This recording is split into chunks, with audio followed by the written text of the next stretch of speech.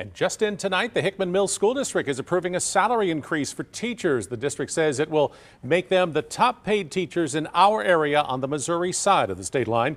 New starting salary will be $46,500. Scale tops out at more than $95,000.